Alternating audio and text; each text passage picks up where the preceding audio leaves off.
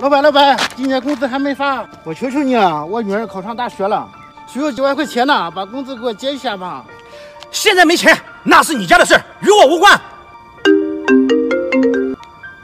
喂，严总，我跟你说的那辆车，人家真的好喜欢哦。才不到二十万，只要你开心啊，买。可是你的农民工兄弟都说你没钱呀。那是对别人，对你啊就不一样了。等我签下这个大单，你想要什么，我给你买什么。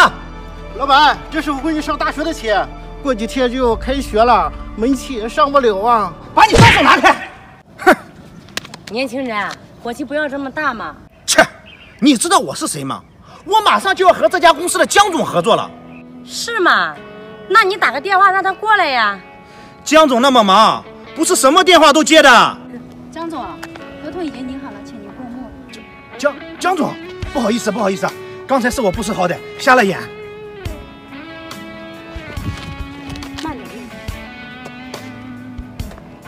我看我们就终止合作吧，我们的理念不同，没办法合作。来，拿过来。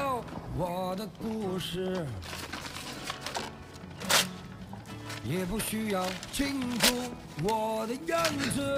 江总，这是我们公司唯一活下去的机会了。如果今天再不签这份合同，我真的撑不下去了。我的公司一定会破产关门的。不好意思，你求我也没用，你这叫自作自受。农民工兄弟就是我的亲兄弟，谁要让农民工兄弟不好过，我就让他过不好。江总，我错了，你再给我一次机会吧。滚！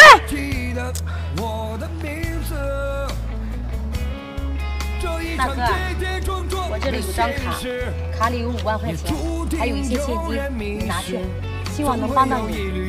谢谢谢谢，真的太感谢你了。不用谢，祝你女儿啊学业有成。我只有一身坦然，和岁月刻的伤，把一字刺在胸膛，在最。